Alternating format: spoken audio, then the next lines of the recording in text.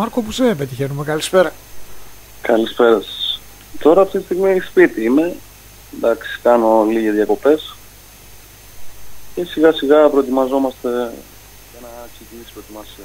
Μάρκο, δεν είναι πολύ ο χρόνος, ξέρεις, που θα ξαναμπείτε στη ρουτίνα, που θα ξαναμπείτε στην προετοιμασία τη προπονήση. Ε, και βέβαια θα μπείτε και σε μια πολύ απαιτητική χρονιά με τον Άρη που θα βρίσκει στη Super League με άλλους πλέον στόχους.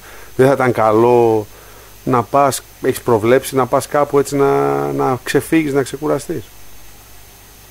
Σίγουρα, μόλις τελείωσε το πρωτάθλημα, κανονικά πρέπει όλα τα παιδιά, όλοι οι ποδοσφαιριστές να κάνουν λίγες διακοπές και μετά από μόνοι τους σιγά σιγά να μπουν λίγο στο κλίμα των προπονήσεων μέχρι να αρχίσει η προετοιμασία. Έτσι είναι το φυσιολογικό τουλάχιστον. Μαρκό, το τέλος της ε, σεζόν βρήκε την ε, ομάδα να χαμογελά για την επίτευξη του στόχου που ε, άργησε μια σεζόν επί της ουσίας όμως άργησε τέσσερις σεζόν γιατί το κλαμπ μπήκε στην ε, διαδικασία της παρουσίας του στις μικρές κατηγορίες ε, για να αφήσει πίσω του τα λάθη του, του παρελθόντος. Ε, τι διδάχτηκες εσύ αυτό το διάστημα με την φανέλα του Άρη; Στις μικρές κατηγορίες, ποια είναι τα, τα μηνύματα που κρατάς από όλη αυτή την περιπέτεια; Τα μηνύματα που κρατάω είναι πρώτον ότι όπου και να έπαιζε ο Άρης και η γάμα εθνική να έπαιζε ο κόσμος ήταν πάντα μαζί του που ήταν πάρα πολύ σημαντικό αυτό και δεύτερον ότι σίγουρα αυτή η ομάδα ελπίζω να μην ξαναπεράσει τέτοιες άσχημες στιγμές στην ιστορία της. Mm-hmm. Έχεις ε, παραστάσεις από την καριέρα σου τα προηγούμενα χρόνια ε, από άλλες ομάδες και από ακόμη μια παραδοσιακή δύναμη στο, στο ποδόσφαιρο, από ακόμη μια ομάδα των, των πέντε ε, κορυφαίων στη χώρα, από την ΑΕΚ, αλλά δεν ξέρω, η παρουσία στον Άρη λόγω των δυσκολιών και λόγω των ιδιαιτεροτήτων, τουλάχιστον στα, στα δικά μου μάτια και κυρίως για, για παιδιά που δεν τα βρίσκουν βολικά γιατί δεν ήρθαν τα πράγματα όπως θα τα περιμένετε από την πρώτη σεζόν. Μου μοιάζει ότι σου, έβγαζε και, σου έβγαλε και ένα δέσιμο. Βλέπουμε καλά ή όχι; Βλέπετε καλά. Εντάξει είναι σίγουρα έχω μείνει τρία χρόνια στη Θεσσαλονίκη και μ' αρέσει αρκετά και η ζωή εδώ πέρα και ο κόσμος που περιβάλλει την ομάδα έχει πίστη για αυτή την ομάδα και μαζί με αυτόν καταφέραμε η ομάδα να ανέβει εκεί που πρέπει, δηλαδή να είναι στην αλφα εθνική και ελπίζω του χρόνου να, τα πράγματα να είναι ακόμα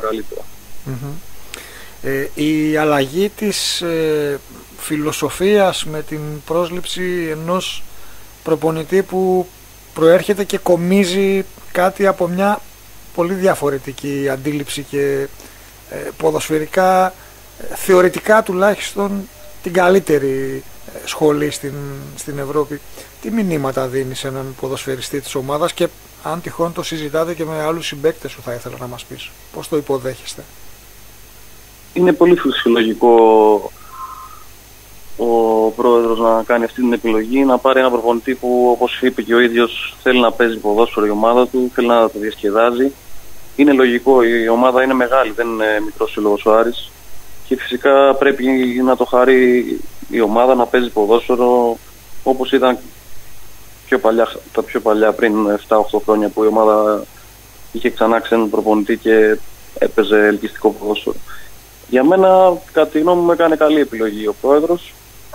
Τώρα αυτά θα φάνουμε στο γήπεδο όμως, δεν μπορώ να σας πω από τώρα τι, σωστό, μπορεί σωστό. να Κανείς, κανείς δεν μπορεί, ούτε, ούτε ο ίδιος ο προπονητής δεν το έκανε χθες δείχνοντας και πόσο μετρημένα και σοβαρά αντιμετωπίζει τη δουλειά, λέγοντας ότι θα πάμε βήμα-βήμα και θα λέμε και λίγα-λίγα τα, ε, τα λόγια που πρέπει να υποθούν. Πρώτα πρέπει να συμβούν κάποια άλλα πράγματα για να, να πάρει η ομάδα τη μορφή της. Δεν, δεν είναι παράλογο αυτό που λες.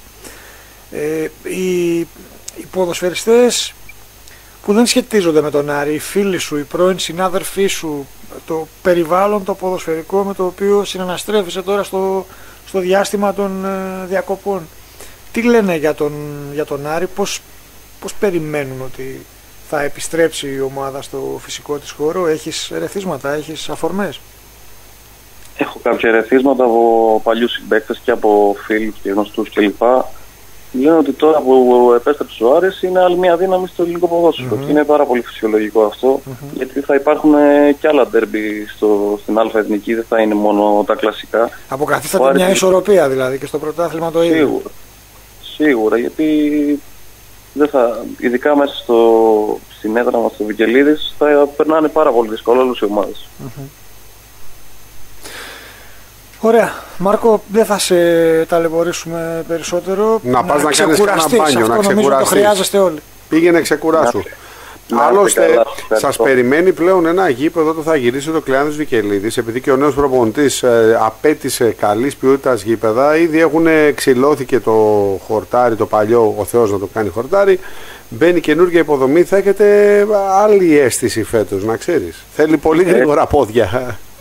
Είναι πολύ σημαντικό και το γήπεδο για να παίξει καλό ποδόσφαιρο χρειάζεται και καλό γήπεδο. Ακριβώς. Μάξιμουμ, Ο Άρης- μάξιμουμ δύο εκατοστά και βρεγμένο, Μάρκο, να ξέρεις. Ο Άρης που δεν έπαιζε καλό ποδόσφαιρο που λέγανε κάποιοι είναι λογικό. Σε κάποιες έδρες εκτός έδρας που είναι χωριά δεν μπορεί να παίξει καλό ποδόσφαιρο. Ακόμα και ο Μέση και ο Κριστιανό Ρονάλντο να δεν μπορούσε Σωστό. να παίξει.